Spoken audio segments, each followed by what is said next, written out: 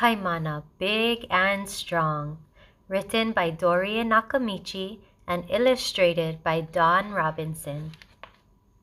Kaimana didn't like being small.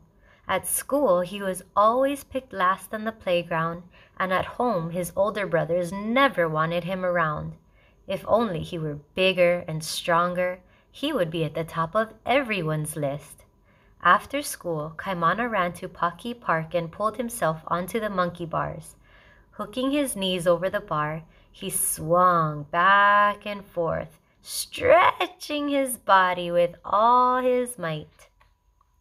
Upside down, Kaimana reached for the ground. He twisted and twirled, swiveled and swirled his body. What are you doing? asked Cole, one of the most popular boys in school. I'm stretching my body so I can get bigger, Kaimana said. Cole toppled over and giggles. That'll never work, said Emma, one of the smartest girls in school. You're just a silly little kindergartner. Yes, it will, shouted Kaimana, jumping off the bar. And I'm not in kindergarten. I'm in second grade. It doesn't matter how old you are. You're just a little baby, Cole said. Kaimana went home angry. I'm not a little baby, he frowned. What was that, dear? asked his mom. The savory smell of beef stew drifted out of the kitchen. When am I going to get bigger? asked Kaimana. You'll grow up soon enough, but I've heard if you eat all your vegetables, it'll help you grow big and strong, she replied. That night, Kaimana ate all the carrots, celery, and potatoes in his beef stew. For the rest of the week, he ate all the vegetables in every meal.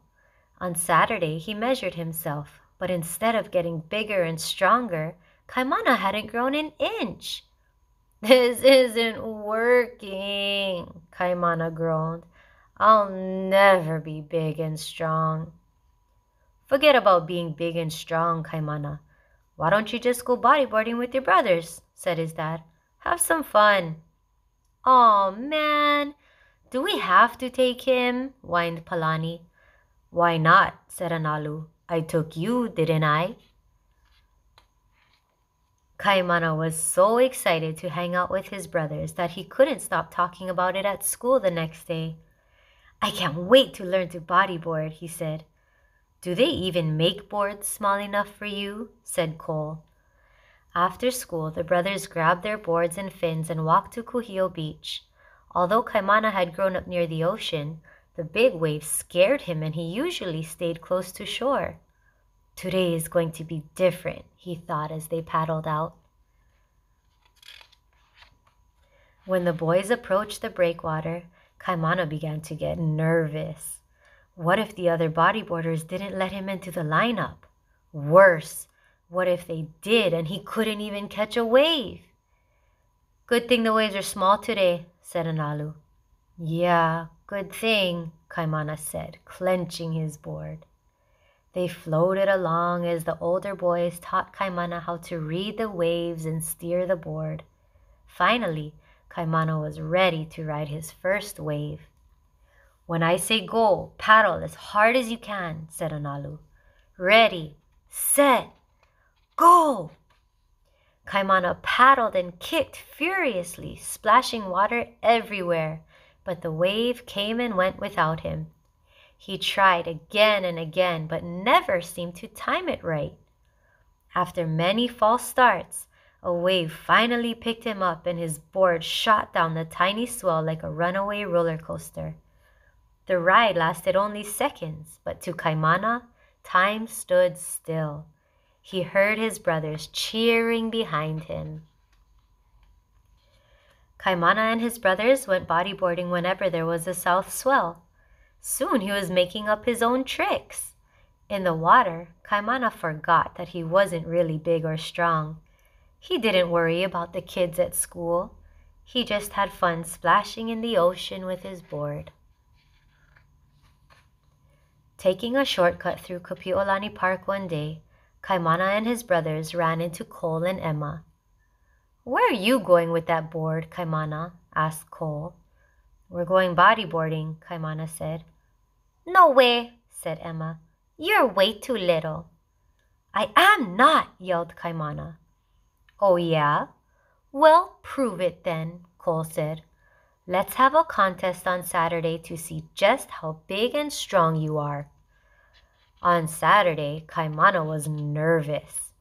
What if he wasn't good after all? As he was leaving the house, Analu and Palani met him outside. We have a surprise for you, Palani said. What is it? I finished it in shop class yesterday, said Analu. He and Palani moved aside to reveal a wooden paipo board with a fiberglass finish that glistened in the sunlight. Is this mine?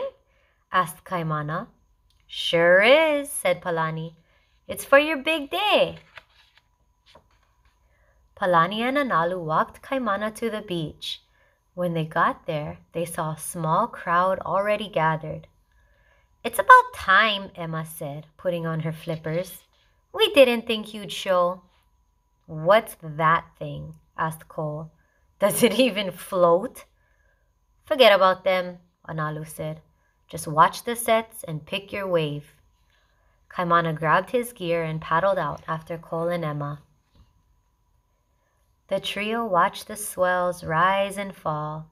Emma rushed the first wave in the set. She shot down the face, riding inside the barrel as the frothy water arced overhead. As the tube collapsed, Emma sped out the end. Off in the distance, another wave approached. It grew bigger and stronger as it came closer. Kaimana paddled as hard as he could. Out of the corner of his eye, he saw Cole paddling too. Coming through! shouted Cole, and he glided underneath Kaimana. Kaimana pulled back so he wouldn't hit Cole and let his perfect wave pass him by. Cole cut back and forth across the wave and spun 360 degrees. Woohoo! called Cole. He tried for another 360, but the powerful wave broke sharply and crashed down on him. The rolling wave sucked him underwater, ripping his board off its leash. After a few seconds, Cole came up, gasping for air. Another wave was rolling in. This was Kaimana's chance to show everyone what he could do. He turned and pumped his arms and legs. His paipo board hung on the crest of the wave for a second before Kaimana angled the nose and dropped in. Perfect! As he picked up speed, Kaimana glanced over and saw Cole splashing and sputtering his head barely above water. Kaimana leaned sideways into a tight circle, letting the wave go by. He paddled over to Cole.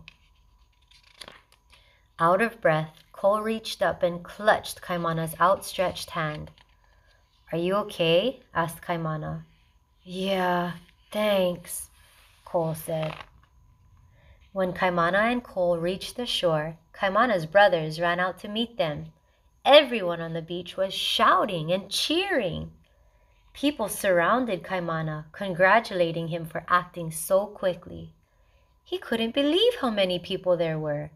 He stood next to his board and grinned, and he didn't feel small at all. He felt bigger and stronger than ever. The end. Thank you for listening. Bye.